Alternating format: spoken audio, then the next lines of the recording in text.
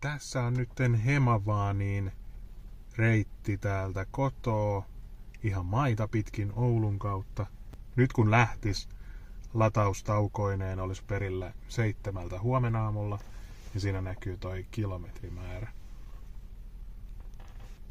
Ja sitten jos katsotaan täältä, mennään takaisin. Matkasuunnitelma. Se nyt reitittää tohon. Niin täällä tulee aika paljon nykyään näitä neste mai vai neste myy. Et ne on ehkä neste saanut aika hyvin ainakin Audille sopivin välimatkoin näitä latauspisteitä. Et se on noin puolen tunnin lataus per paikka. Ja sitten tuolla Ruotsin puolella oli Ionity Tore, Töre näköjään. Tuossa ei näy yön pisteet. Ja sitten vielä Circle K tuossa matkalla. Eli tämmöiset lataukset tämä ehdottaa. Mun mielestä nämä on ihan ok. Ainakin tällä, jos olisi niin kuin ihan noviisi, niin kyllä näiden puolesta uskaltaisi lähteä. Etenkin kun Suomessa neste mailataus, niin siellähän toi pankkikortti käy maksuun. Niin. Mutta näillä me tosiaan varmaan lähdetään ihan maita pitkin, että ei nyt otetakaan sitä lauttaa Vaasasta Uumajaan. Katsotaan miten tyyppien käy. Ei ole mikään helpporasti, mutta näillä mennään. Yövytään varmaan Kemissä tai Luulajassa vähän sen mukaan, miten matka etenee ja paluu matkalla Kemissä. Tässä on vielä semmonen mutta, että meillä toi auto valittaa, että pitäisi huoltoon viedä, kun 30 000 kilometriä tulee täyteen edellisestä huollosta, niin eipä siinä auta muuta kuin käydä sitten Audilla kysymässä, että mitä tehdään, koska se nyt kuitenkin menisi yli, kun tästä sen vajaa 3000 kilsaa ajaa, niin menee yli huolto, huoltovälin ja ei tietenkään haluta, että siinä sitten jotkut takuut ja goodwillit menis umpeen, että katsotaan mitä he siellä sitten vastaa. Mä laitan tähän sitten perään heti siitä tiedon. No niin, tässä Audin pihassa ollaan ja näköjään lähti tää karttapäivitys sitten pyörimään, mutta sehän ei mitään haittaa. Eli siellä on sitten varattu huoltoaika reissun jälkeen ja kuulemma tämmönen pieni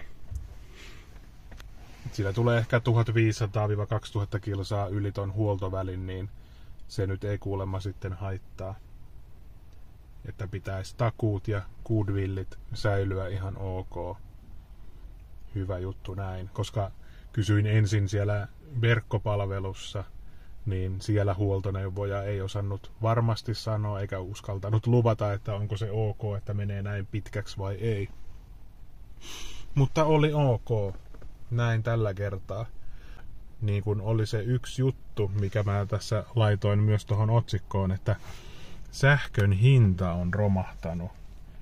Voitte samalla katsoa, miten hieno näkymä tuossa on tuossa hurulla, mutta sähkön hinta on romahtanut etenkin meillä. Eli meillä oli 10 senttiä ja vähän päälle kiinteä sopimus, joka loppui nytten maaliskuun lopulla – ja nyt huhtikuun alusta alkaen saatiin kiinteä kulutusvaikutuksen kerran. Ja se on noin 5 senttiä. Ja ehkä siitä sentin saa kulutusvaikutuksella pois. Eli 4 senttiä maksaa. Mutta nyt Helen ilmoitti, että heillä ei mene siirtomaksua ollenkaan huhti-toukokuussa. Eli siitä lähtee sen vajaa 5 senttiä pois. Ja tosiaan 5 senttiä lähtee pois ton päivittyvän kiinteän hinnan vuoksi. Eli maksetaan vaan noin 4 senttiä plus verot, eli sitten semmoinen 6-7 senttiä per kilowatti tunti. Ja sehän nyt ei sitten kauhean paljon ole, että jos vaikka tällä ajaa sanotaan nyt 25 kilowattituntia per 100 kilometriä ja sitten sen kertoo seitsemällä, niin siitähän tulee semmoinen euro 70 Eli nyt kun kotona lataa, niin pääsee aika edullisesti liikenteeseen. Mutta katsotaan, miten meidän käy. mä laitoin tohon tosiaan navigaattoriin sen reitin ja mä en tiedä miksi se nyt lähti päivittämään, että päivittääkö se sen Ruotsin sinne, koska me oltiin sinne menossa vai päivittyykö tämä nyt sitten kokonaan. No mutta ei voi valittaa. Mutta mä tosiaan otin tähän semmoisen kuukausimaksullisen connectivity-palvelun, johon kuuluu live liikennetiedotteet, jos on tie poikki, tulee ruuhkaa, onnettomuudet, niin ne näkyy heti tuolla, myös siis muualla kuin Suomessa. Ja sitten siihen kuuluu nämä live-kartat, tämmöiset hienot satelliittikartat.